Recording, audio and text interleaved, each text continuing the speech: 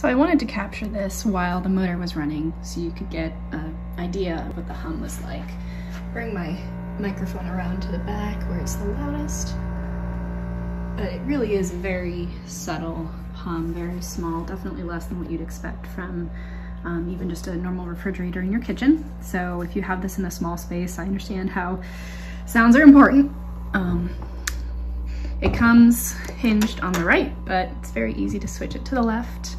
Comes with the energy guide and a nice protective cover. And sounds a little louder right now because um, it's on the stone here, so it would probably be even better on a flat surface that's not edged like this. And um, as far as I know, oh goodness, the dogs. For an example, I have the temperature gun. Um, base is two, zero, that's where it's the coldest. This dog loves this spot. Um, the product here is 18 degrees.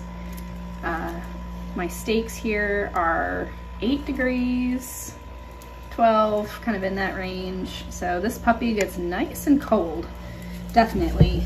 Um, it's been plugged in for the 24 hours recommended, or maybe just a little shy of that. And it was yesterday about this time. And there you have it. It's a great, great little freezer. Um, great for a dorm or just some extra freezer space like I need.